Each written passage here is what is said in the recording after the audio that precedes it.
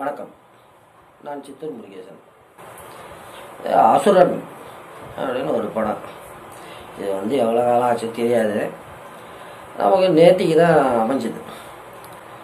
இந்த Kindle pen to publish படைப்புகளுக்கு நாம் வந்து ரிவ்யூ போடணும்னா ஒரு ஆயிரத்தி ஐநூறுரூவாக்கு நாம் வந்து ஏற்கனவே வியாபாரம் பண்ணியிருக்கணும். இது இல்லாமல் அமேசான் ப்ரைம் அதுக்கு வந்து சப்ஸ்கிரைப் பண்ணியிருக்கணும் சரி நமக்கு தான் எந்த பக்கியம் ரிவ்யூ போடுறதில்ல. நாமளாவது போடுவோம்னு அந்த சப்ஸ்கிரிப்ஷன் வெங்காயம்லாம் வாங்கி ஓடிக்கிட்டு இருக்கு இன்னும். அது மூணு மாதம் அந்த இதில் தான் வந்து இந்த அசுரன் படம் பார்த்தேன். இதில் இப்போ அந்த கதை வந்து எல்லாருக்கும் தெரியும். நான் கொஞ்சம் வித்தியாசமாக அப்சர்வ் பண்ணுவேன் இப்போ அதில் வந்து பார்த்தீங்கன்னா வந்து அந்த நம்ம தனுஷ் சார் குடும்பத்துக்கு பண தட்டுப்பாடே கிடையாது. அதுவும் அடகு வச்சா ஒன்றரை லட்ச ரூபாய் வர அளவுக்கு நகையை வச்சிருப்பார்.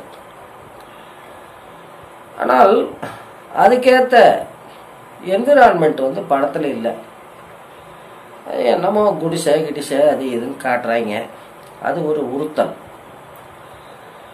இதில் எனக்கு பிடிச்ச மேட்ரு என்னடானா தனுஷோட பையன் வந்து வில்லனை போட்டுருவாப்ல.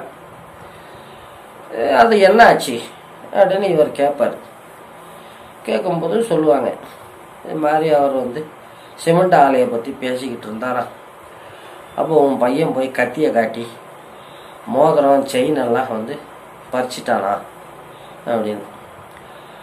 அப்போ தனுஷ்து ஒரு வசனம் இருக்குது நம்ம பையன் வந்து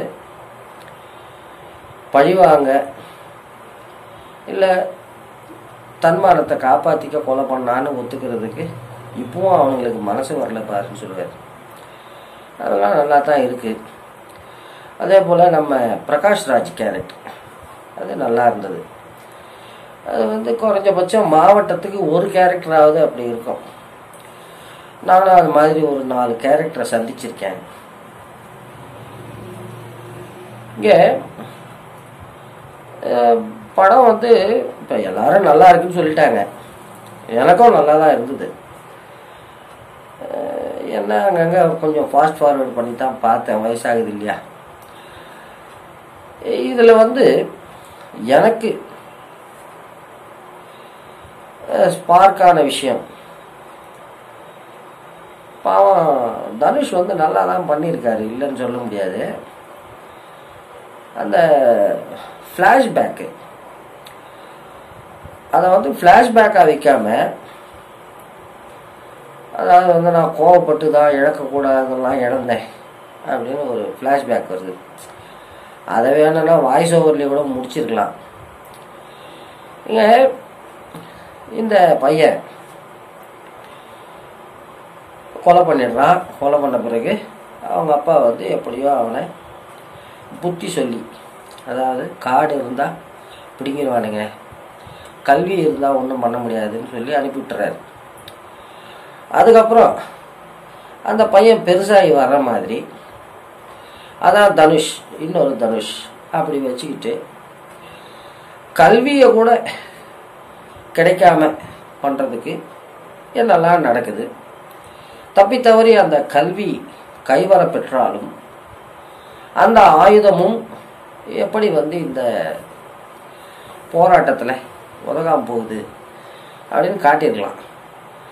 டெப்த் இன்னும் சூப்பராக இருந்திருக்கும். கரண்ட்டு இப்போ வந்து இந்த ஐந்தாம் வகுப்பு எட்டாம் வகுப்புக்கு பொது தேர்வுகள் வரும் நீட் தேர்வுகள். அதே போல் இந்த வேலை வாய்ப்பில் வந்து பணக்கார ஏழைகளுக்கு பத்து பர்சன்ட்டு இடஒதுக்கீடு இதையெல்லாம் எல்லாம் கூட டச் பண்ணியிருக்கலாம் அந்த சாராயம் காய்ச்சிற ஃப்ளாஷ்பேக்கெல்லாம் வந்து நீட்டி முழக்கி அதில் வந்து அந்த செருப்பு மேட்ரு ஒன்று அதை வந்து வாய்ஸ் ஓவர்லேயும் முடிச்சிருக்கலாம் எனக்கு தெரிஞ்சு. ஏன்னா அது அந்த அளவுக்கு ஒன்றும் ஒர்த்து கிடையாது. இப்படி பண்ணியிருக்கலாம் பண்ணியிருந்தா இன்னும் சூப்பராக இருந்திருக்கும். தனுஷனுடைய கேரக்டர் அவருடைய நடிப்பு எல்லாம் வந்து இயற்கையாக இருந்தது. அதை ஏற்றுக்கிட்டு தான் ஆகணும். இந்த அந்த பையன் வந்து அவன் புசுக்குன்னு புதரை கொளுத்துறது மிருகம் வராமல் இருக்க. முயலை வந்து சுடுறது. இதெல்லாம் வந்து நல்லா இருக்குது